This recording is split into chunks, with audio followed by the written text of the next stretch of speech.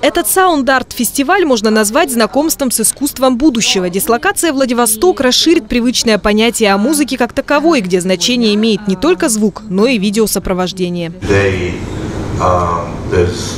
В современном мире невозможно представить кино и визуальный ряд без звука. И, соответственно, наоборот. Каждый режиссер хочет, чтобы его воображаемый мир накладывался на прекрасный звук. И наоборот. Каждому музыканту хотелось бы, чтобы его музыку сопровождал красивый визуальный ряд.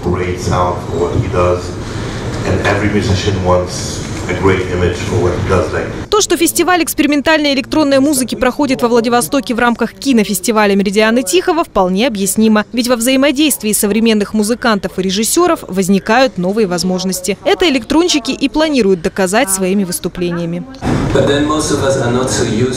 Когда мы объединяем слух и зрение в таком необычном, непривычном восприятии, не как обычное кино, то это позволяет получить новый опыт другого и нового восприятия. Музыкальный проект «Дислокация Владивосток», по словам Яна Рольфа, можно считать психогеографическим осмыслением местности и находящихся там людей. Так, например, в первый день выступлений зрители увидят перформанс британского художника Хельм под названием «Внутреннее пространство Сибирь», где изображение особенностей региона автор дополняет экспериментальной музыкой. Побывать и выступить во Владивостоке в рамках «Меридианов Тихого» организаторам и артистам особенно приятно. Для меня это очаровательная возможность своими глазами увидеть, насколько насколько это интернациональный город. И это возможность посмотреть кинофестиваль. Это такое тайное место на карте страны.